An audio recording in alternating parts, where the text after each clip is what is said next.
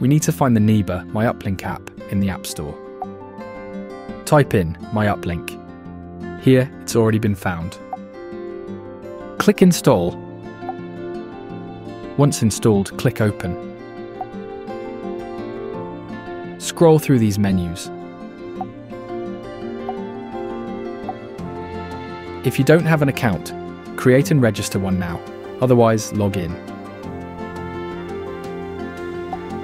Either allow or do not allow notifications. Once in, click here and scroll to Add System. You should be taken to this page. There's a few ways to add a system. You can scan the QR code or find connected devices which are on your current Wi-Fi network. First, let's scan the QR code. You may need to allow the app access. When your scanner is ready, move to the controller. Firstly, we press the three-line settings menu at the top, go to Info, then Operating Info, and then scroll to the bottom where you will find the QR code.